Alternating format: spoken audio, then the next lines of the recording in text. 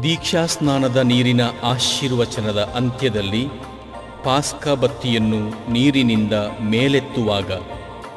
ಪುಟ ನಾನೂರ ಹತ್ತು.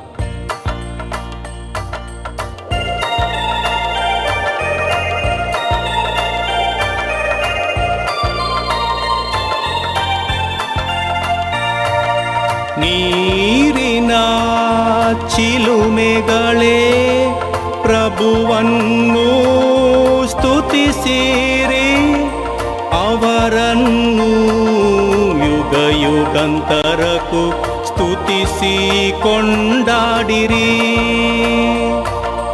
ನೀರಿನ ಚಿಲುಮೆಗಳೇ ಪ್ರಭುವನ್ನು ಸ್ತುತಿಸಿರಿ ಅವರನ್ನು ಯುಗ ಯುಗಂತರಕ್ಕೂ ಸ್ತುತಿಸಿ ಕೊಂಡಾಡಿರಿ.